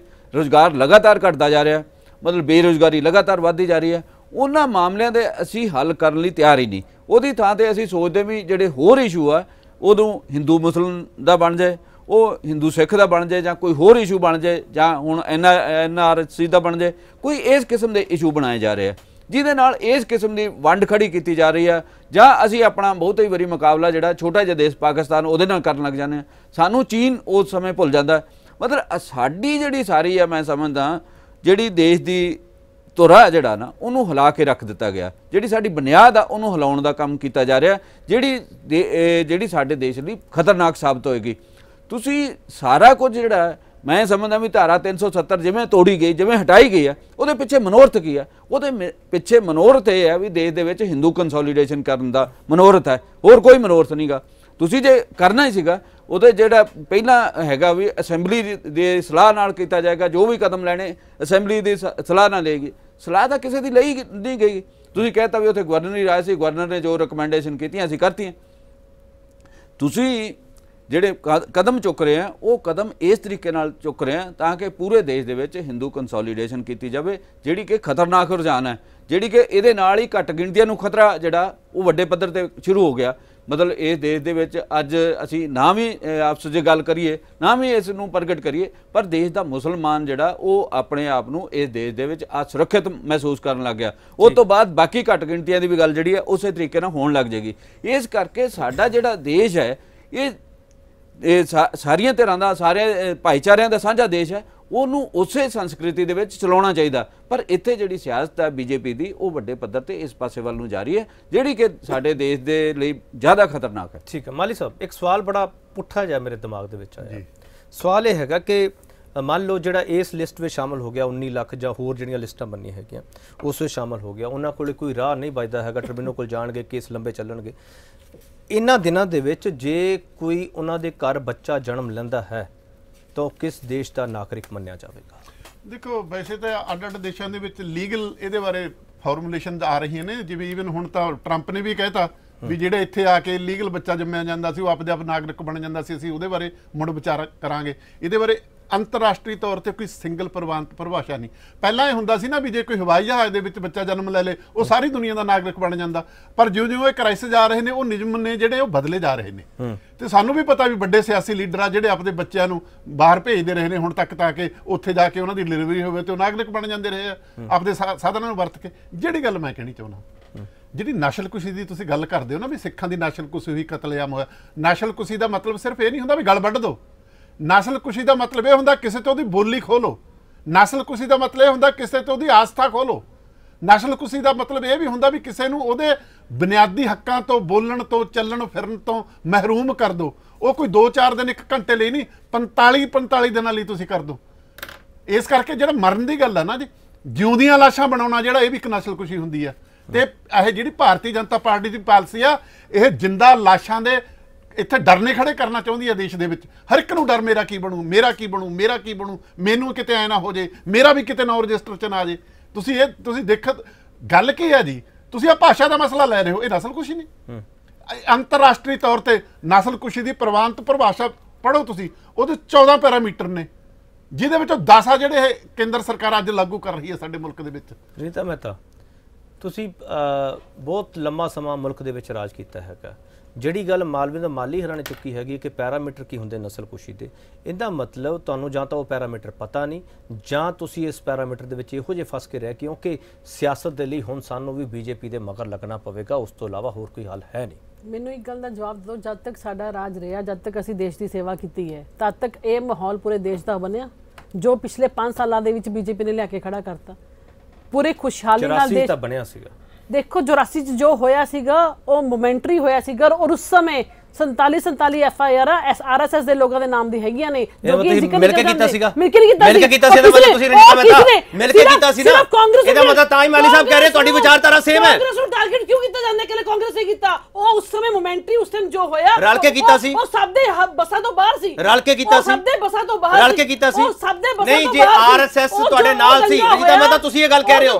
ਜੇ ਆਰਐਸਐਸ ਤੁਹਾਡੇ ਨਾਲ ਸੀ ਦੰਗਾ ਨਾ ਕੋ ਕਿਰਪਾ ਕਰਕੇ ਮੈਂ ਨਸਲ ਕੁਸ਼ੀ ਹੋਈ ਸੀ ਕਤਲੇਆਮ ਹੋਇਆ ਸੀ ਫਿਰ ਇੱਕ ਗੱਲ ਦੱਸੋ ਫਿਰ ਉਹ ਕਾਂਗਰਸ ਨੇ ਕੀਤਾ ਸੀ ਤੁਸੀਂ ਕੀ ਕਹਿਣਾ ਚਾਹੁੰਦੇ ਹੋ ਬਿਲਕੁਲ ਕਹਿ ਰਿਹਾ ਮੈਂ ਬਿਲਕੁਲ ਗਲਤ ਮੈਂ ਬਿਲਕੁਲ ਕਹਿ ਰਿਹਾ। ਬਿਲਕੁਲ ਗਲਤ ਕੀਤਾ ਮੈਂ ਬਿਲਕੁਲ ਕਹਿ ਰਿਹਾ। ਕਹਿ ਰਹੇ ਫਿਰ ਦੱਸ ਕੇ ਵੀ ਕਹੋ ਨਾ ਕਿ ਕਾਂਗਰਸ ਨੇ ਕੀਤਾ ਸੀ ਕਿ 47 ਐਫ ਆਈ ਆਰ ਜਿਹੜੇ ਆਰਐਸਐਸ ਦੇ ਖਿਲਾਫ ਹੋਈ ਰਲ ਕੇ ਕੀਤਾ ਸੀ ਤੁਸੀਂ ਕਹਿ ਦਿਓ ਨਾ ਫਿਰ ਰਲ ਕੇ ਕੀਤਾ ਸੀ ਉਹ ਬਿਲਕੁਲ ਇੱਕ ਹਾਦਸਾ ਸੀਗਾ ਜੋ ਲੋਕਾਂ ਦੇ ਭਾਵਨਾਵਾਂ ਉਸ ਟਾਈਮ ਭਟਕੀਆਂ ਉਹ ਤੋਂ ਬਾਅਦ ਹੋਇਆ ਕਿਸੇ ਨੇ ਪਰਪਸਲੀ ਉਸ ਕੰਮ ਨੂੰ ਨਹੀਂ ਕੀਤਾ ਸੀਗਾ ਜਿਹੜਾ ਹੁਣ ਕੰਪੈਰੀਜ਼ਨ ਜੋ ਇਸ ਟਾਈਮ ਚਲੋ ਮੈਨੂੰ ਇੱਕ ਚੀਜ਼ ਦੱਸ ਦਿਓ ਤੁਹਾਡੀ ਵਿਚਾਰਧਾਰਾ ਵੱਖਰੀ ਹੈ ਜਾਂ ਜੋ। ਜਾਂ ਬੀਜੇਪੀ ਦੀ ਜੋ ਵਿਚਾਰਧਾਰਾ ਸੰਘ ਦੀ ਵਿਚਾਰਧਾਰਾ ਉਸ ਤੇ ਕਾਂਗਰਸ ਖੜੀ ਹੈ। ਬਿਲਕੁਲ ਸਾਡੀ ਵਿਚਾਰਧਾਰਾ ਵੱਖਰੀ ਹੈ। ਅਸੀਂ ਇਹਨਾਂ ਨਾਲ ਕਦੀ ਜ਼ਿੰਦਗੀ 'ਚ ਮਿਲ ਇਹਨਾਂ ਸਾਡੀ ਵਿਚਾਰਧਾਰਾ ਨਹੀਂ ਮਿਲ ਸਕਦੀ। ਇਹ ਇੰਨੇ ਜ਼ਿਆਦਾ ਜਿਸ ਤਰੀਕੇ ਨਾਲ ਹਿੰਦੂ ਰਾਸ਼ਟਰਵਾਦ ਕਰਕੇ ਲੋਕਾਂ ਦੀ ਜ਼ਿੰਦਗੀਆਂ ਨਾਲ ਖੇਲ ਰਹੇ ਨੇ ਜਿਸ ਤਰੀਕੇ ਨਾਲ ਜਿੰਦੀ ਲਾਸ਼ਾਂ ਜਿਵੇਂ ਦੱਸਿਆ ਉਹਨੇ ਸਾਡੇ ਪ੍ਰਵਕਤਾ ਨੇ ਜੋ ਇਹ ਹਾਲ ਕਰ ਰਹੇ ਨੇ ਤੁਸੀਂ ਦੇਖਿਓ ਆਉਣ ਵਾਲਾ ਸਮਾਂ ਇੰਨਾ ਬੁਰਾ ਆਉਣ ਵਾਲਾ ਹੈ। ਅਗਰ ਇਸ ਚੀਜ਼ ਨੂੰ ਨਾ ਰੋਕਿਆ ਗਿਆ ਤਾਂ ਬਹੁਤ ਜਲਦੀ ਅੰਤ ਹੈ। ਤੁਸੀਂ ਦੇਖੋ ਜੀਡੀਪੀ ਅੱਜ ਪਾਕਿਸਤਾਨ ਤੋਂ ਵੀ ਥੱਲੇ। 5% ਤੇ ਆ ਗਈ ਅਸੀਂ ਇਹ ਕਹਿੰਦੇ ਉਹਦੇ ਬਾਰੇ ਗੱਲ ਨਾ ਕਰੋ ਜਦੋਂ ਜਦੋਂ ਅਸੀਂ ਨੌਕਰੀਆਂ ਦੀ ਗੱਲ ਕਰਾਂਗੇ ਇਹ ਪਾਕਿਸਤਾਨ ਦੀ ਗੱਲ ਕਰਦੇ ਹਾਂ ਜਦੋਂ ਅਸੀਂ ਇਹ ਪੁੱਛਦੇ ਹਾਂ ਕਿ ਵੀ ਅੱਜ ਜੀਡੀਪੀ ਨੇ ਡਾਊਨ ਕੀ ਹੋ ਗਈ ਇਹ ਫਿਰ ਪਾਕਿਸਤਾਨ ਦੀ ਗੱਲ ਕਰਦੇ ਹਾਂ ਇਹ ਮੁੱਦਿਆਂ ਤੋਂ ਭਟਕਾਉਂਦੇ ਨੇ ਜਦੋਂ ਜਦੋਂ ਚੋਣਾਂ ਆਉਂਦੀਆਂ ਨੇ ਇਹਨਾਂ ਨੂੰ ਇਹ ਹੁੰਦਾ ਕਿ ਲੋਕ ਵੀ? ਬਿਲਕੁਲ ਇਹੀ ਸਿਲਸਿਲਾ ਹੈ ਹਰਿਆਣਾ ਦੇ ਹਰਿਆਣਾ ਦੇ ਵਿੱਚੋਂ ਨਿਕਲਣ ਦਾ ਜਵਾਬ ਦੇ ਦਿਓ ਇਹਨਾਂ ਦੀ ਪਰਫਾਰਮੈਂਸ ਕਰੀ ਹੈ 5 ਸਾਲਾਂ ਚ ਇਹਨਾਂ ਨੇ ਚਾਰ ਵਾਰੀ ਹਰਿਆਣਾ ਜਲਾਤਾ। ਜਿਸ ਟਾਈਮ ਰੋਕਣਾ ਚਾਹੀਦਾ ਸੀ ਬਾਬਾ ਰਾਮ ਰਹੀਮ ਦੇ ਵਲੰਟੀਅਰਸ ਨੂੰ ਆਉਣ ਵਾਸਤੇ ਬਲਾਤਕਾਰੀ ਰਾਮ ਰਹੀਮ ਨੂੰ- ਬਾਬਾ ਨਾ ਕਹੋ। ਮੈਂ ਕਹਿੰਨੀ ਆ ਹਾਂ, ਬਲਾਤਕਾਰੀ ਰਾਮ ਰਹੀਮ ਮੈਂ। ਬਲਾਤਕਾਰੀ ਰਾਮ ਰਹੀਮ ਨੂੰ ਰੋਕਣਾ ਚਾਹੀਦਾ ਸੀ ਤਾਂ ਇਹਨਾਂ ਨੇ ਕਿਹਾ ਵੀ ਸ਼ਰਧਾਲੂਆਂ ਦੇ ਤਾਰਾ 300 ਜੋ ਲਾਗੂ ਨਹੀਂ ਹੁੰਦੀ ਜਿਹੜੀ ਅ, 122 ਉਹ ਤੋਂ ਬਾਅਦ ਜਦੋਂ ਇਕੱਠੇ ਹੋ ਗਏ ਜਦੋਂ ਕਤਲੇਆਮ ਹੋ ਗਏ ਫਿਰ ਉਹਨਾਂ ਨੂੰ ਗੋਲੀਆਂ ਵੀ ਮਾਰੀਆਂ ਗਈਆਂ ਫਿਰ ਉਹਨਾਂ ਨੂੰ ਕੱਢਿਆ ਵੀ ਗਿਆ ਇਹ। ਇਹ ਇਹ ਸਾਰੇ। ਜੋ ਇਹ ਇਹ ਹਾਲ ਕੀਤਾ ਜਾ ਰਿਹਾ ਹੈ ਇਹ ਇੱਕ ਸਿਰਫ ਬੀਜੇਪੀ ਦਾ ਹਿਡਨ ਏਜੰਡਾ ਹੈ ਜਿਹਦੇ ਕਰਕੇ ਜਾਟ। ਅੰਦੋਲਨ ਵੀ ਬਹੁਤ ਵੱਡਾ ਜਾਟ ਅੰਦੋਲਨ ਉਹ ਵੀ ਇਹਨਾਂ ਨੇ ਕੀਤਾ। ਮਾਨ ਸਾਹਿਬ ਸਵਾਲ ਲੈ ਲਓ ਮਾਨ ਸਾਹਿਬ ਸਵਾਲ ਲੈ ਲਓ ਜਦੋਂ ਰੀਅਲ ਇਸ਼ੂਸ ਦੀ ਗੱਲ ਹੁੰਦੀ ਹੈ, ਉਹਨਾਂ ਮੁੱਦਿਆਂ ਤੋਂ ਭਟਕਾਉਣ ਦੇ ਲਈ ਤੁਸੀਂ ਇੱਕ ਇਹੋ ਜਿਹਾ ਮੁੱਦਾ ਲੈ ਕੇ ਆਉਂਦੇ ਹੋ ਜਿਸ ਤੇ ਬਹਿਸ ਹੋਵੇ। ਜਦੋਂ ਅਸੀਂ ਬੇਰੁਜ਼ਗਾਰੀ ਦੀ ਗੱਲ ਕਰਦੇ ਹਾਂ, ਹਰਿਆਣਾ ਦਾ ਤੁਸੀਂ ਰਿਕਾਰਡ ਚੱਕ ਕੇ ਦੇਖ ਲਿਓ, ਤੁਹਾਨੂੰ ਪਤਾ ਹੋਊਗਾ। ਸਵਾਲ ਇਹ ਹੈਗਾ, ਹਰਿਆਣਾ ਦੇ ਵਿੱਚ ਜਿਸ ਤਰੀਕੇ ਨਾਲ ਸਾਰੀ ਚੀਜ਼ਾਂ ਅੱਗੇ ਵਧੀਆਂ, ਜਦੋਂ ਐਸਵਾਈਐਲ ਦਾ ਮੁੱਦਾ ਆਇਆ, ਜਦੋਂ 4 ਮਹੀਨੇ ਤਰੀਕ ਅੱਗੇ ਪੈ ਗਈ, ਉਸ ਤੋਂ ਬਾਅਦ ਤੁਸੀਂ ਐਨਆਰਸੀ ਦਾ ਰਾਗ ਛੇੜਤਾ ਕਿ ਹੁਣ ਸਾਨੂੰ ਕੋਈ ਮੁੱਦਾ ਤਾਂ ਲੈ ਕੇ ਜਾਣਾ ਹੈਗਾ, ਜਨਤਾ ਦੇ ਵਿੱਚ ਤੇ ਐਨਆਰਸੀ ਫਿੱਟ ਬੈਠਦਾ ਮਾਨ ਸਾਹਿਬ ਦੇਖੋ, ਗੱਲ ਇਹ ਆ ਕਿ ਇਹਦੇ 'ਚ ਬਹੁਤ ਸਾਰੀਆਂ ਗੱਲਾਂ ਨਿਕਲ ਕੇ ਆਈਆਂ। ਮੈਂ I will reply every single question that you asked but ਜਿਹੜੇ ਕਿ ਪੋਲਿਟੀਕਲ ਕਮੈਂਟੇਟਰਸ ਨੇ ਇੱਥੇ ਗੱਲਾਂ ਕਹੀਆਂ ਨੇ ਜਾਂ ਕਾਂਗਰਸ ਪਾਰਟੀ ਦੇ ਪ੍ਰਵਕਤਾ ਨੇ ਜਿਹੜੀ ਗੱਲ ਕਹੀ, ਉਹਦਾ ਜਵਾਬ ਦੇਣਾ ਬਹੁਤ ਜ਼ਰੂਰੀ ਆ। ਮੈਂ ਦੋ ਤਿੰਨ ਜਿਹੜੇ ਗੱਲਾਂ ਸੀਗੀਆਂ, ਉਹ ਮੈਂ ਤੁਹਾਨੂੰ ਚੇਤੇ ਕਰਾ ਦੇਣਾ ਚਾਹੁੰਦਾ ਹਾਂ। ਉੱਥੋਂ ਕੁਝ ਤੁਸੀਂ, ਅਗਰ if you can draw any inferences from there ਤੁਸੀਂ ਦੇਖ ਲਿਓ। ਪਹਿਲਾ जब एक बड़ा पेड़ गिरता है तो धरती हिलती है जब धरती हिलती है तो सिर्फ सिख मरते हैं दूजा ਜਦੋਂ ਅ, ਨਾਰੇ ਵਜਾਏ ਗਏ ਕਿ ਜੀ ਤੁਹਾਡੀ ਮਾਂ ਮਾਰੀ ਇਹਨਾਂ ਸਿੱਖਾਂ ਨੂੰ ਮਾਰੋ ਖੂਨ ਦਾ ਬਦਲਾ ਖੂਨ ਔਰ ਹੁਣ ਲੇਟੈਸਟ ਸੈਮ ਪਿਟਰੋਡਾ ਨੇ ਜਿਹੜਾ ਕਿਹਾ ਸੀਗਾ ਕਿ ਹੁਆ ਤੋ ਹੁਆ ਜਿਹੜੇ ਕਿ ਜਿੰਨੇ ਕਿ ਸਿੱਖ ਮਰੇ ਉਸ ਵੇਲੇ ਨਸਲ ਕੁਸ਼ੀ ਹੋਈ ਤਾਂ ਹੋਈ ਕਿ ਕੀ ਫਰਕ ਪੈਂਦਾ ਕਿੱਡੀ ਕੁ ਵੱਡੀ ਗੱਲ ਆ ਸੋ ਠੀਕ ਕਿਹਾ ਕਿ ਵੀ ਸਾਡੀ ਇਹਨਾਂ ਨਾਲ ਵਿਚਾਰਧਾਰਾ ਮੇਲ ਨਹੀਂ ਖਾਂਦੀ ਮਾਲਵਿੰਦਰ ਸਿੰਘ ਮਾਲੀ ਜੀ ਕਿਤੇ ਗਲਤ ਕਹਿ ਗਏ ਕਿ ਵੀ ਇਹਨਾਂ ਦੀ ਵਿਚਾਰਧਾਰਾ ਇੱਕ ਆ ਜਾਂ ਇਹਨਾਂ ਦੀ ਸੋਚ ਨਹੀਂ ਇੱਕ ਹੈ ਇਹਨਾਂ ਦਾ ਤਰੀਕਾ ਇੱਕ ਹੈ ਉਹ ਨਹੀਂ ਹੈ ਜੀ ਬੜਾ ਫਰਕ ਹੈ ਔਰ ਜਿੱਥੇ ਤੱਕ ਸਵਾਲ ਹੈ ਜਾਣੀ ਕਿ ਪਾਕਿਸਤਾਨ ਵਿਚਾਰਧਾਰਾ ਦਾ ਰਹੇ ਹੋ, ਉਹ ਨਾਮ ਸਿੱਖਾਂ ਦੇ ਲੈਣਾ, ਵਿਰੁੱਧ ਰਹੇ, ਤੁਸੀਂ ਮੁਸਲਮਾਨਾਂ ਜਿਹੜਾ ਦੇ ਵਿਰੁੱਧ। ਜਿਹੜਾ ਪਾਕਿਸਤਾਨ ਦਾ ਨਾਮ ਮਾਨ ਸਾਹਿਬ, ਲੈਣਾ ਮਾਨ ਸਾਹਿਬ, ਜਿਹੜਾ ਮਾਨ ਸਾਹਿਬ, ਸਵਾਲ ਹੀ ਨਹੀਂ ਪੈਦਾ ਮਾਨ ਸਾਹਿਬ, ਹੁੰਦਾ Mann Sahib. BJP is not against any citizen of this country including Muslims Okay. If there is any illegal migrant in the country whether hindu or muslim he is not welcome in this country ਮੈਂ ਮੰਨ ਪਹਿਲੀ ਗੱਲ ਇੱਕੋ- ਨਹੀਂ ਮੈਂ I I will answer you Balwinder ਜੀ don't do this. You are a senior journalist ਠੀਕ you ਹੈ, had ਆ your ਰਹੇ time. ਜੰਮੂ you ਜੀ had your Sahib time sir. ਤੁਸੀਂ- ਤੁਸੀਂ ਗੱਲ ਔਰ। ਮੈਂ ਜਿਹੜੀ ਤੁਸੀਂ ਗੱਲ ਬਾਰ-ਬਾਰ ਲੀਗਲ ਇਲੀਗਲ ਦੀ ਕਰਦੇ ਹੋ ਤੁਸੀਂ ਬਾਹਰਲੇ ਮੁਲਕਾਂ ਨਾਲ ਕੰਪੇਅਰ ਕਰਦੇ ਹੋ ਉੱਥੇ ਛਾਪੇ ਮਾਰ ਕੇ ਅੱਧੀ ਦੀ ਰਾਤ ਨੂੰ ਘਰੋਂ ਚੱਕ ਕੇ ਲੈ ਜਾਂਦੇ ਜੇਲ੍ਹਾਂ 'ਚ ਬੰਦ ਕਰ ਦਿੰਦੇ ਆ। For the record for the record KP ਇੱਕ ਗੱਲ ਮੈਂ ਹੋਰ ਇੱਥੇ ਤੁਹਾਨੂੰ ਮੈਂ ਕਲੀਅਰ ਕਰਦਾ ਤੁਸੀਂ ਕਿਹਾ ਵੀ 19 ਲੱਖ ਲੋਕ ਇਹ ਜਿਹੇ ਨੇ ਜਿਹੜੇ ਉਸ ਐਨਆਰਸੀ ਰਜਿਸਟਰ ਤੋਂ ਬਾਹਰ ਨੇ ਜਿਨ੍ਹਾਂ ਜਿਨ੍ਹਾਂ ਦੀ ਗਿਣਤੀ ਹਿੰਦੁਸਤਾਨ ਦੇ ਨਾਗਰਿਕਾਂ ਦੇ ਤੌਰ ਤੇ ਨਹੀਂ ਹੈ ਪਰ ਫੈਕਟ ਇਹ ਵੀ ਹੈ ਕਿ ਟੋਟਲ ਇਹਨਾਂ ਚੋਂ ਸਿਰਫ 900 ਇਹ ਜਿਹੇ ਲੋਕ ਨੇ ਜਿਹੜੇ ਕ੍ਰਿਮੀਨਲ ਐਕਟੀਵਿਟੀਜ਼ ਇਨਵੋਲਡ ਸੀਗੇ ਜਿਹੜੇ ਹੁਣ ਹੈਲਡ ਅਪ ਨੇ ਜਿਹੜੇ ਜੇਲ੍ਹਾਂ 'ਚ ਨੇ ਉਸ ਤੋਂ ਇਲਾਵਾ ਕੋਈ ਬੰਦਾ ਜੇਲ੍ਹ 'ਚ ਨਹੀਂ ਹੈ ਫ੍ਰੀ ਸਿਟੀਜ਼ਨ ਵਾਂਗੂ ਹਿੰਦੁਸਤਾਨ ਦੀ ਸਰਜ਼ਮੀਨ ਤੇ ਰਹਿ ਰਿਹਾ ਤੀਜਾ ਕੀਤਾ ਗਿਆ। ਨਹੀਂ ਨਹੀਂ ਕੋਈ ਗੱਲ ਨਹੀਂ ਚੋਣਾਂ ਦਾ ਕੋਈ ਗੱਲ ਨਹੀਂ। ਉਹਦੇ ਬਾਅਦ ਕਿੱਥੇ ਰੱਖੋਗੇ? ਉਹਦੇ ਬਾਅਦ ਕਿੱਥੇ ਰੱਖੋਗੇ? ਰਿਲੈਕਸ ਕੋਈ ਨਹੀਂ ਉਹ legal record shelter legal remedies ਹੁਣ ਲੀਗਲ ਹੋਣਾ ਹੈ ਲੀਗਲ ਰੈਮੇਡੀਜ਼ ਹੈ ਉਹ ਕੀ ਹੋਊਗਾ ਉਹ time will tell it's a Supreme Court monitored committee ਐ ਨਹੀਂ ਹੈ ਕਿ ਭਾਰਤੀ ਜਨਤਾ ਪਾਰਟੀ ਆਪਣੇ ਜੋਰ ਤੇ ਆਪਣੇ ਇਹ ਸਵਾਲ ਬੜਾ ਮਹੱਤਵਪੂਰਨ, ਇਹ ਸਵਾਲ ਬੜਾ ਦੂਜਾ ਨਹੀਂ ਨਹੀਂ। ਦੇਖੋ ਦੇਖੋ ਦੇਖੋ। ਜਿਹੜੀ ਜਿਹੜੀ ਗੱਲ ਕਰ ਰਹੇ ਸੀ ਨਾ ਕਿ ਇੱਥੇ ਹਿੰਦੂ ਕੰਸੋਲੀਡੇਸ਼ਨ ਲਈ 370 ਅਪਲਾਈ ਕੀਤਾ ਗਿਆ ਤੇ 370 ਲਈ ਤਾਂ ਇਹਨੇ ਆਪ ਕਿਹਾ। ਨਹਿਰੂ ਸਾਹਿਬ ਨੇ ਕਿ ਘਿਸਦੇ ਘਿਸਦੇ ਘਿਸ ਜੂਗੀ। ਯਾਨੀ ਕਿ ਉਹ ਚਾਹੁੰਦੇ ਸੀ ਕਿ ਹੌਲੀ ਹੌਲੀ ਹੌਲੀ ਹਿੰਦੂ ਕੰਸੋਲੀਡੇਸ਼ਨ ਹੋ ਜਾਏ। Don't talk like this I mean ਇਹ ਜਿਹੜੇ ਇਹਦਾ ਮਤਲਬ ਤੁਸੀਂ ਦੋਨਾਂ ਦੀ ਵਿਚਾਰਧਾਰਾ same ਹੈ, ਫਿਰ ਉੱਥੇ ਆ ਜਿਹੜੀ ਗਏ। ਤੁਸੀਂ Same page ਤੇ ਆ ਗਏ, ਫਿਰ ਮਾਨ ਸਾਹਿਬ, ਤੁਸੀਂ ਆਪ ਹੀ। ਕਹਿਤਾ। Absolutely not. ਚਲੋ ਠੀਕ ਹੈ। ਤੁਹਾਡਾ- not. ਤੁਹਾਡਾ ਕਮੈਂਟ ਆ ਗਿਆ। 70 ਸਾਲਾਂ 'ਚ ਇਹਨਾਂ ਤੋਂ ਤਾਂ ਕਸਾਈ ਨਹੀਂ ਗਈ। ਬਲੰਦਰ ਜੰਮੂ ਲਾਸਟ ਮਿੰਟ ਤੁਹਾਡੇ ਚਾਹੀਦੇ ਮੈਂ ਚਰਚਾ ਸਮਾਪਤ ਕਰਾਂ ਜੇ- ਮੈਨੂੰ ਇੱਕ ਸਵਾਲ ਲੈ ਲਓ ਸਵਾਲ ਲੈ ਲਓ। ਇਹ ਵਾਰ-ਵਾਰ ਕਹਿ ਰਿਹਾ ਹੈ ਕਿ ਬੀਜੇਪੀ ਨਹੀਂ ਕਰ ਰਹੀ। ਸੁਪਰੀਮ ਕੋਰਟ ਮਨੀਟਰਡ ਇਹ ਸਭ ਕੁਝ ਹੋ ਰਿਹਾ ਹੈ। ਤੇ ਤੁਸੀਂ ਬੀਜੇਪੀ ਤੇ ਸਵਾਲ ਕਿਉਂ ਚੁੱਕ ਰਹੇ ਹੋ? ਕੇਂਦਰ ਮੈਂ ਮਾਲੀ ਸਾਹਿਬ ਦੀ ਗੱਲ ਦਾ ਇੱਕ ਦਾ ਹੋਰ ਜਵਾਬ ਦੇਣਾ? ਪਲੀਜ਼ ਪਲੀਜ਼ ਪਲੀਜ਼ ਇੱਕ ਮਿੰਟ ਇਹ ਸਵਾਲ ਦੇ ਜਵਾ- ਜਵਾਬ ਦੇ ਨਾਲ ਦੇ ਦਿਓ ਬਲੰਦਰ ਜੰਮੂ। ਲਾਸਟ ਮਿੰਟ ਫਟਾਫਟ ਕੁਐਸਚਨ ਇਹੀ ਹੈ ਵੀ ਅਸੀਂ ਕਰ ਕਿਉਂ ਰਹੇ ਭਾਵੇਂ ਸੁਪਰੀਮ ਕੋਰਟ ਵੀ ਕਰ ਰਹੀ ਹੈ ਤੇ ਸਾਡੇ ਜਿਹੜੀਆਂ ਪੋਲੀਟੀਕਲ ਪਾਰਟੀਆਂ ਉਹ as journalist you can raise aspersions on Supreme Court's intentions also ਕੋਈ ਗੱਲ ਨਹੀਂ ਠੀਕ ਹੈ ਸੁਪਰੀਮ ਕੋਰਟ ਤੇ ਰੇਜ਼ ਹੋਣਗੇ ਜੇ ਜੇ ਕਰੋ। 84 ਦੀ ਗੱਲ ਕਰੋਗੇ ਤੇ ਸੁਪਰੀਮ ਕੋਰਟ ਕਿਤੇ ਦਿੱਲੀ ਦੇ ਵਿੱਚ ਸੀਗੇ। ਹਾਂ ਮਤਲਬ ਸੁਪਰੀਮ ਕੋਰਟ ਛੋਟੇ ਛੋਟੇ ਮਾਮਲੇ ਤੇ ਇੰਟਰਵੀਨ ਕਰਦੀ ਹੈ ਉਦੋਂ ਕੋਰਟ ਨੇ ਉਦੋਂ- ਸੁਮੋ ਉਦੋਂ ਕਿਉਂ ਨਹੀਂ ਲਿੱਤਾ? ਉਦੋਂ ਕੋਰਟ ਨੇ ਇਹ ਸੁਮੋ ਕਿਉਂ ਕਿਉਂ ਨਹੀਂ? ਲਿੱਤਾ?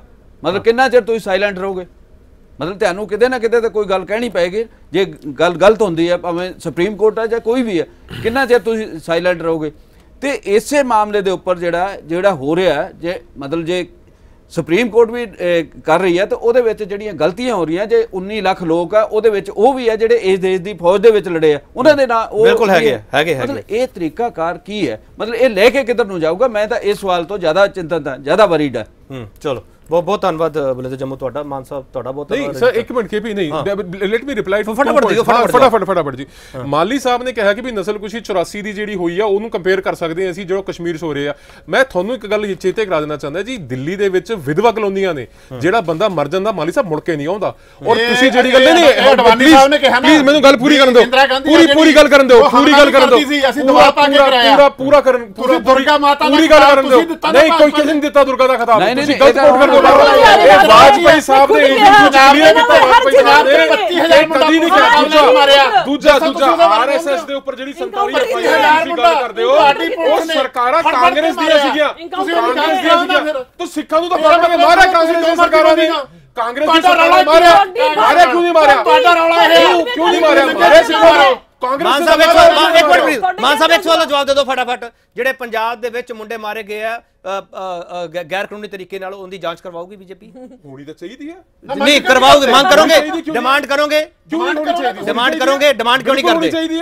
ਇਹਦਾ ਮਤਲਬ ਤਾਂ ਹੀ ਮਾਲੀ ਸਾਹਿਬ ਕਹਿੰਦੇ ਤੁਸੀਂ ਸੇਮ ਪੇਜ ਤੇ ਖੜੇ ਹੋ। ਜਦੋਂ ਤੁਸੀਂ ਡਿਮਾਂਡ ਨਹੀਂ ਕਰਦੇ ਤਾਂ ਹੀ ਸੇਮ ਪੇਜ ਤੇ ਕਿਉਂ ਖੜੇ ਹੋਣੀ ਚਾਹੀਦੀ? ਚਲੋ ਬਹੁਤ ਬਹੁਤ ਧੰਨਵਾਦ ਮਾਨ ਸਾਹਿਬ ਤੁਹਾਡਾ। ਅ, ਬਲਵਿੰਦਰ ਜੰਮੂ ਤੁਹਾਡਾ ਬਹੁਤ ਧੰਨਵਾਦ ਰਣਜੀਤਾ ਮਹਿਤਾ ਤੁਹਾਡਾ ਬਹੁਤ ਧੰਨਵਾਦ ਮਾਲਵਿੰਦ ਸਮਾਲੀ ਤੁਹਾਡਾ ਬਹੁਤ ਧੰਨਵਾਦ।